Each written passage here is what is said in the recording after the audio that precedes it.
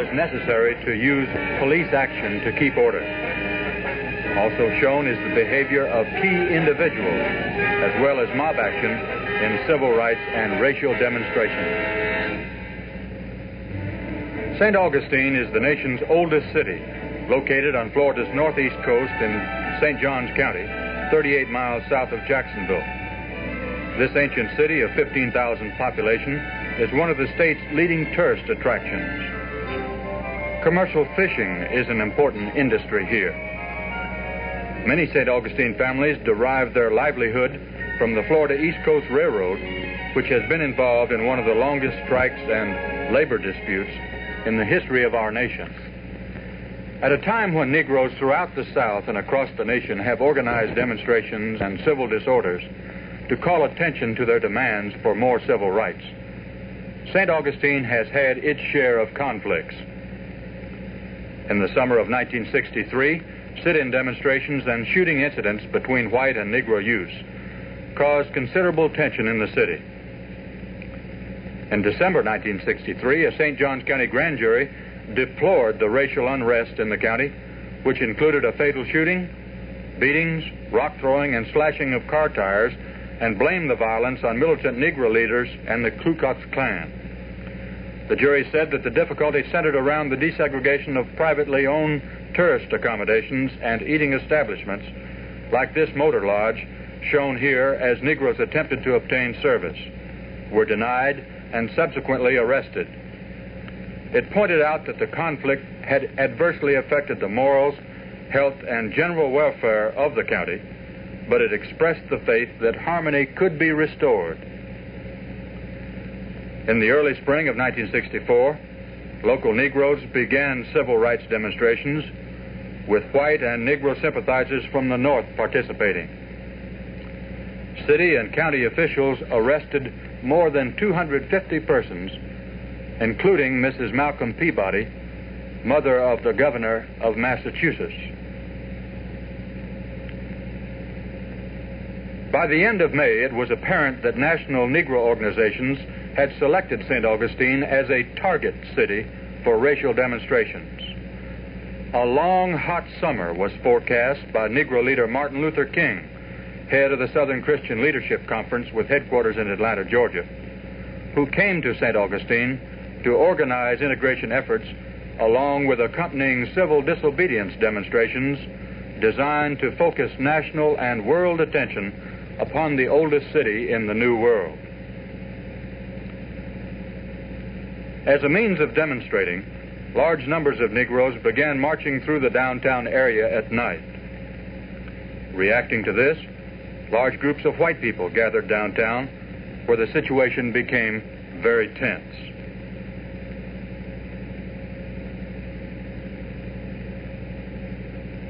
Governor Bryant ordered the Florida Highway Patrol to send troopers to assist local enforcement agencies in the struggle. The troopers were on hand to back up the St. Augustine Police Department and the St. Johns County Sheriff's Office, where mobs were meeting in open conflict and where shots were being fired into homes and automobiles. News photographers became a target of white segregationists who attacked the photographers and smashed their equipment on several occasions. The town's old slave market became a focal point of the demonstrations as it apparently became a symbol of Negro efforts to integrate the nation's oldest city. Local enforcement officers used trained dogs to assist in crowd control. These dogs were effective in halting lines of marchers who would have otherwise been willing to press forward.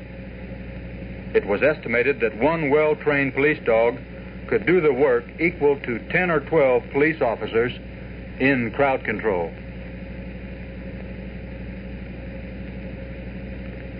On June 1st, the City Commission adopted an ordinance to prevent parking on downtown streets at night and to prevent minors under 19 from being on the streets or in public places between 9 p.m. and 5 a.m. Throughout this time, the Highway Patrol set up many vehicle checkpoints in the area and took into custody a large number and variety of weapons, including rifles, pistols, shotguns, machetes, nightsticks, blackjacks, axe handles, hatchets, and chains.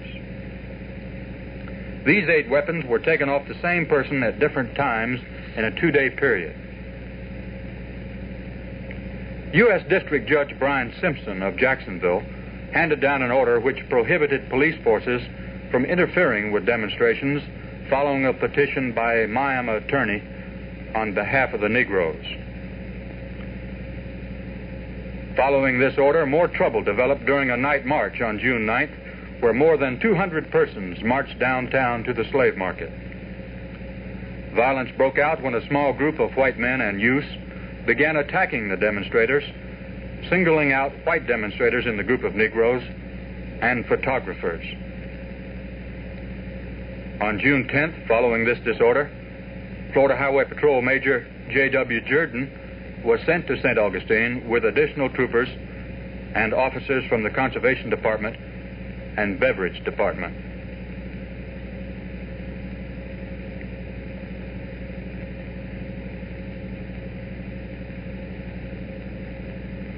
Martin Luther King returned to St. Augustine to lead what he called a massive assault against segregation. And he said, I'm here to stay until the battle is won.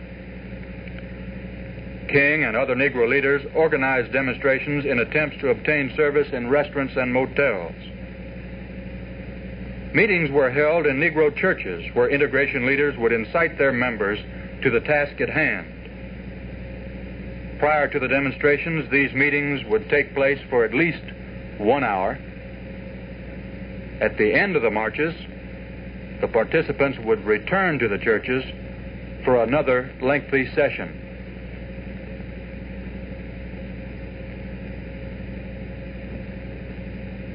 At the same time, three white segregationists were taking the lead in organizing opposition to the demonstrations. These men were Halstead Richard Manucy, shown here in the white hat, better known as Hoss Manucy, who was head of the Ancient City Hunting Club.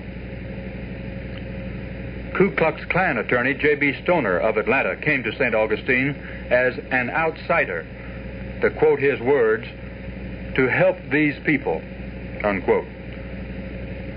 Stoner, who has long been a segregationist, joined with Manucy and leading marches of white segregationists into the Negro heart of town. The Reverend Connie Lynch came to St. Augustine from California to, quote, help these embattled good white people in their cause, unquote.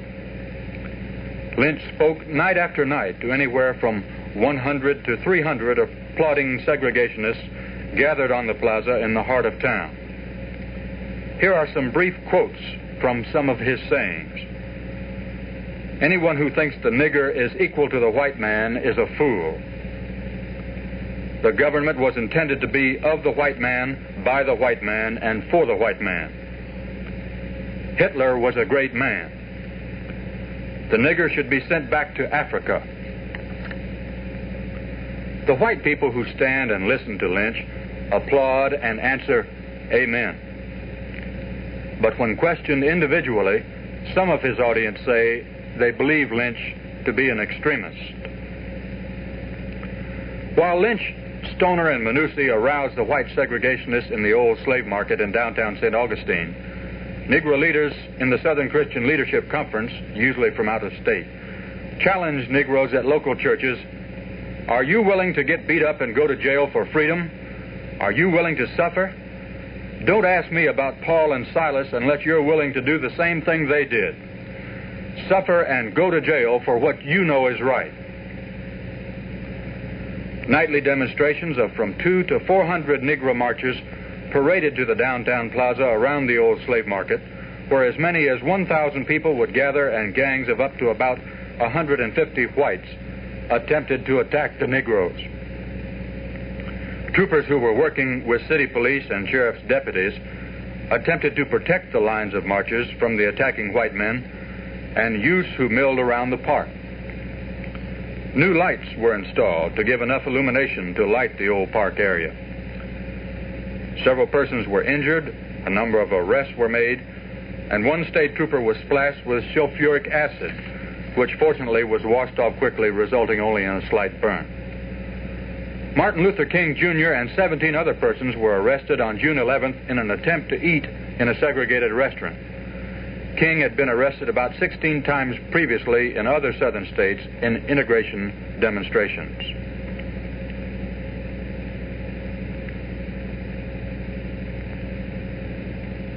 On June 15th, Governor Farris Bryant felt the situation had become so serious that he found it necessary to invoke emergency powers to create a special state police force which had concurrent powers with Sheriff L.O. Davis and Police Chief Virgil Stuart to enforce the law. This was the first time that any Florida governor had invoked the special emergency police powers voted by a special session of the 1956 legislature, and it had the effect of accomplishing with civil law officers the same thing that could have been done by sending National Guard into St. Augustine. This special police force, under the immediate command of Highway Patrol Major Jordan, was given an initial strength of about 135 patrol troopers beverage agents, state conservation agents, game and fish officers, Division of Correction officers, and investigators from the Governor's Office, Attorney General's Office, and Sheriff's Bureau. The special force could now make arrests for violations of city ordinances or violations of any regulation promulgated by the Governor.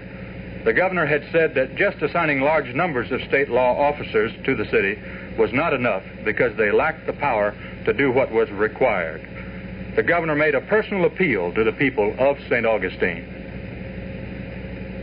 The thing that I want to say to the people of St. Augustine and Florida particularly is that we must maintain law and order. Uh, that regardless of our feelings for or against certain people, for or against certain propositions, we have a task to perform, a society to maintain, and I anticipate that we will do it. On June 17th, Negroes switched tactics by marching through a white residential section in the middle of the night. The march of 300 strong included a group of Jewish clergymen from nine other states, which arrived to take part in the demonstrations. A heavy escort was given to the marchers, but few white spectators watched as the marchers wound into the parking lot in front of the Monson Motor Lodge the major target in sit in attempts. They held prayer service and returned to the church where the march began.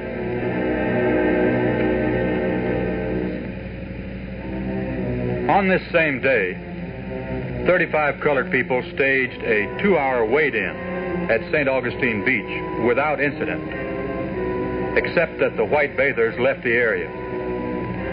This was the beginning of a series of daily conflicts on the beaches. A St. Johns County grand jury recommended a 30 day truce in demonstrations so a biracial committee could be formed to study racial problems. But the recommendations were immediately rejected by Martin Luther King. A group of St. Augustine businessmen also issued a statement pledging to abide by present and future laws including any civil rights bill which would give Negroes the rights they are seeking, and they expressed a willingness to sit down and discuss racial problems with a representative group of local citizens, which would include Negroes. This was to no avail.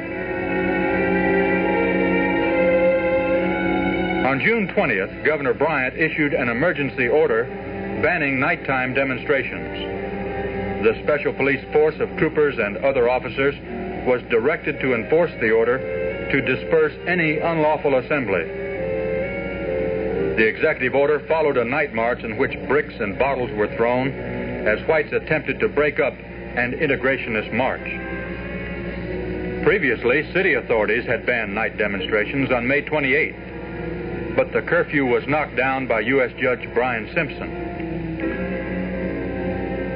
Governor Bryant's order could not be directly attacked in federal or state courts. An attack would have to come in the form of a challenge of the constitutionality of the statute under which the powers are given to the state chief executive. White and Negro demonstrations were carried on separately in marches through St. Augustine on June 21st and a group of whites attacked a racially mixed group of demonstrators at Atlantic Ocean Beach. Note the speed at which action develops when open conflict breaks out during these beach demonstrations. It is often necessary for several officers to pursue and subdue a single attacker bent upon striking blows and escaping. Extreme care had to be used in handling the baton during these incidents. It was difficult to grasp the wet, bare arms of the attackers, and these people often used grease on their bodies to give them an additional advantage in this regard. A Danish cameraman taking motion pictures of the violence was beaten by a shirtless white youth who fled down the beach. He was run down and apprehended several hundred yards away. The singing integrationist waded into the water and stayed for about 10 minutes. It was necessary for troopers to wade into the surf between the integrationists and whites on shore and two conservation boats were used to help keep the groups apart. Four members of the white group were arrested. On June 23rd, Patrol Commander H.N. Kirkman sent Inspector H. Lee Simmons to relieve Major Jordan, and relief was given to other troopers who had been on the scene for some time. On June 24th, whites turned away a group of about 30 Negroes who attempted to wade in for the fourth straight day. The Special Police Force escorted the Negroes from cars to the water's edge, where the white group met them. The Negroes knelt on the sand and prayed for about 10 minutes before leaving. There were no arrests. Later, after hearing a fiery speech by segregationist Connie Lynch at the old slave market, nearly 300 whites marched into the Negro area. The marchers were confronted by a large group of sign carrying Negroes on Washington Street. But there were no overt incidents here. This situation became tense when the white marchers returned to the downtown plaza to find Negroes marching on Cathedral Street. Officers and police dogs prevented the two groups from clashing. Several whites were arrested.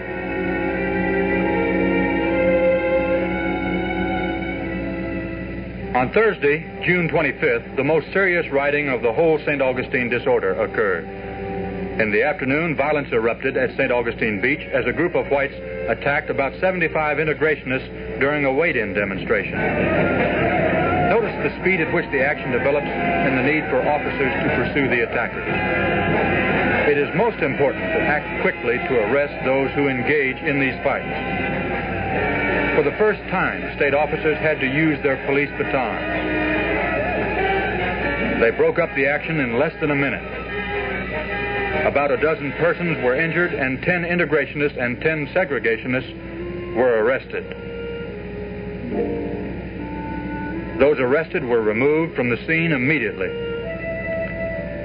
Usually, two or more officers would control those arrested to minimize the force needed to place them in patrol cars for removal to jail.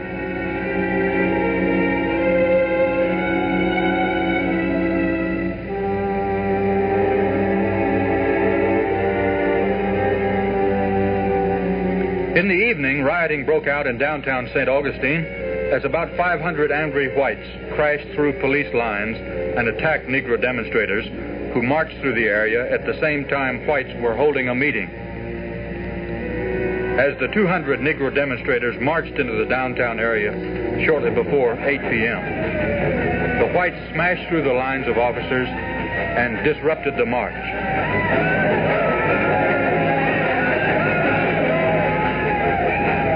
Negroes were attacked for perhaps half a minute before the officers could halt the violence. The march continued around the plaza, and the whites again broke through the lines on Cathedral Street in front of the Catholic Church. As the officers tried to stop the attacking whites, the Negroes broke and ran. Some of them were overtaken and mauled before they could reach the safety of the Negro area. Note here again the speed with which action develops once open conflict erupts and individuals begin to act on their own in direct conflict with others. It is important to note that once this kind of action begins, it quickly spreads to others. Some 20 persons were injured, including a trooper shot by a pellet gun, a conservation officer shoulder broken, and a beverage agent severely beaten with fists and kicked.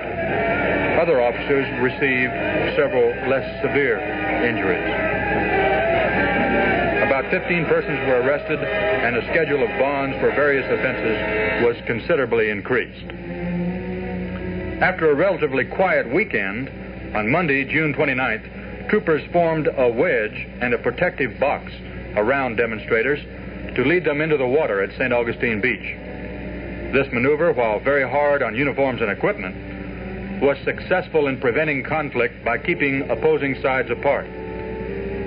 The segregationists ran around the ring of officers, pointing and jeering, and they were joined by about a hundred spectators on the beach.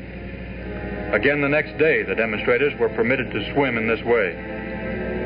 After about 30 minutes in the surf, the integrationists left under protective guard.